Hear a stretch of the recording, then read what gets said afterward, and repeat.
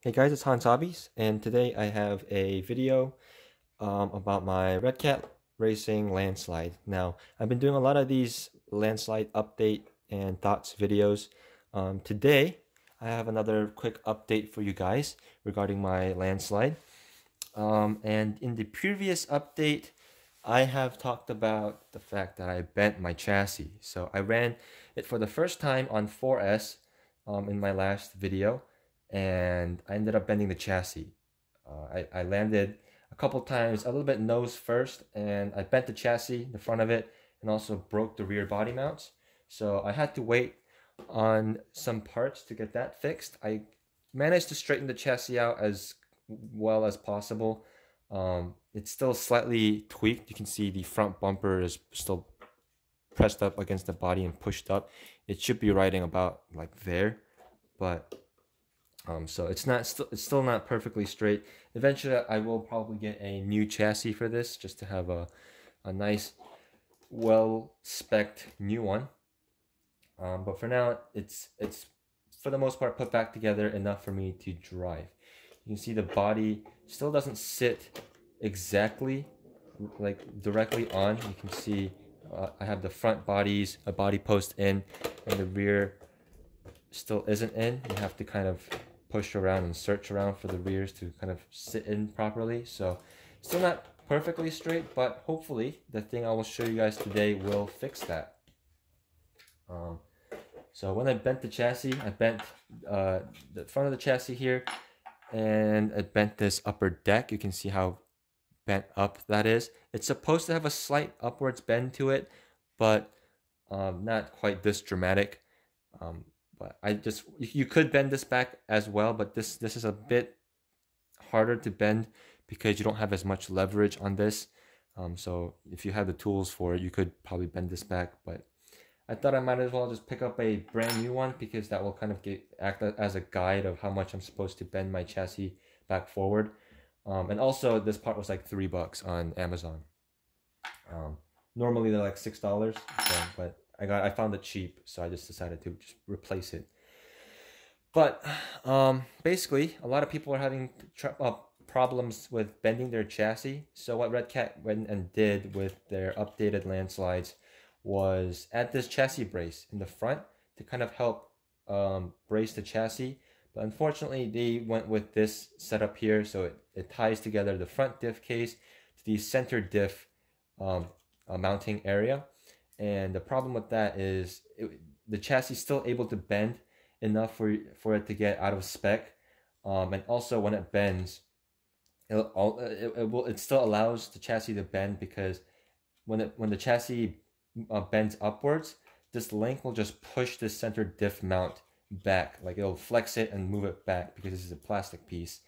Um, had they made this in, out of aluminum and then bolted to this aluminum chassis, it might have worked a little bit better but still um, that's really expensive. And two it won't fix the problem entirely because the rear is still completely unbraced and the, the rear is still able to be um, uh, bent. Uh, the thing well, the one thing that this brace did help me with though is even though when I bent my chassis it, this thing still keeps it keeps the chassis from bending too much to the point where my drive shaft will bend. Um, so my drive shaft was saved by this brace but uh, my chassis unfortunately wasn't. So the solution to that is to brace the front diff case to the rear diff case. A lot of like touring car, four wheel drive touring cars have that set up. A lot of like this flat touring car style monster truck or like buggy style monster trucks have that upper brace going on there.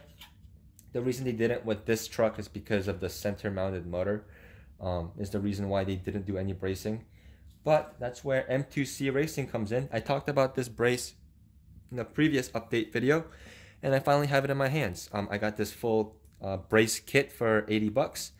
Um, I'll also have a link in the description of a Redcat dealer that sells this as a bundle, so you can get a brand new landslide truck as well as the MT, M, M2C Racing brace for 350 bucks rather than buying it for 380 bucks separately and then paying separate taxes and stuff.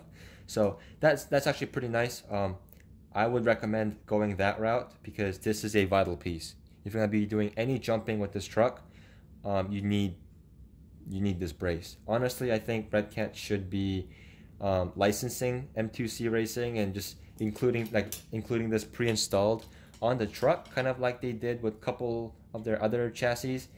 Um, but uh, that unfortunately hasn't happened. I don't know the logistics for that, but that would be nice.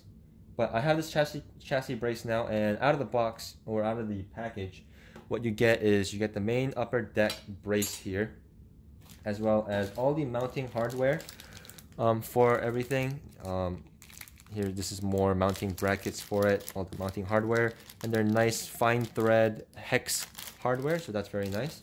It, it also includes this bracket over here, and this is a motor mount brace as well as an additional mounting plate for the upper deck, um, the, the chassis brace.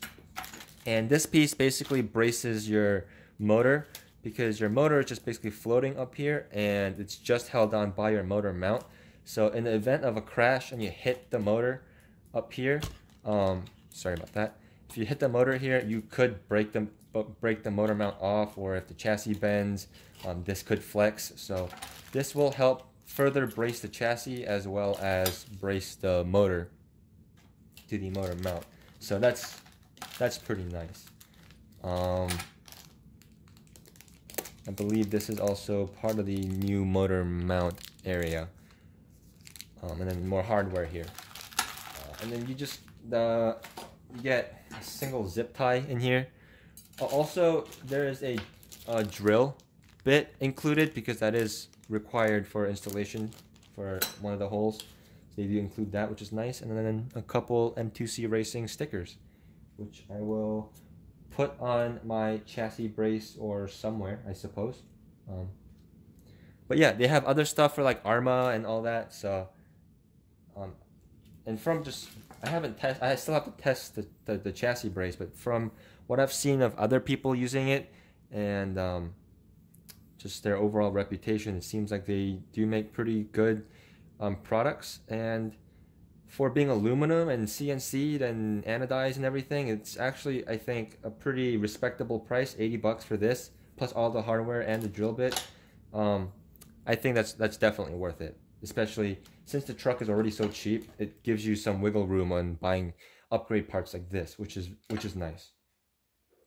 So, um, I was originally going to do a full like installation video of this and like like showing you how to install this brace step by step but I kind of want to take my time on that make sure I do it properly also my this is meant for a brand new chassis and because my chassis is not brand new and it's already bent I will have to take time to like like tweak my chassis a bit to make sure it's perfectly straight so I can't install this brace so that's gonna take a lot of time and it's gonna be difficult to film I think so um, kind of have to just keep this update video short. I will end it here, but um, you will hear about this again, and you will also hear about it in my review video, which is still going to happen.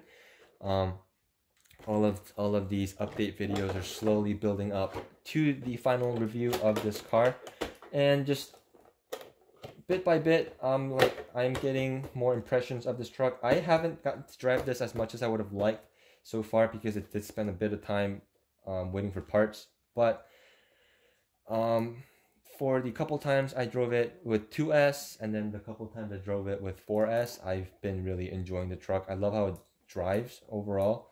Um, so far, um, and it the parts seem to be holding up so far. I won't be able to do any hard durability tests at the moment because it is really cold outside and that's not really fair for the truck to be testing it at like below freezing temperatures because plastic always gets really brittle and um, depending on what material material you use um, different plastics react differently. So um, but I will still be driving it as I normally would um, even in the snow and stuff. And if it stands up there then durability is basically golden I think because if it can survive in below freezing temperatures it can basically survive anywhere is how I look at it but I keep hitting the tripods. I'm sorry about that. But um yeah, that's all I got for you guys today. Um, if you guys enjoyed this video or have any questions or any comments about the truck, you can always leave them down below.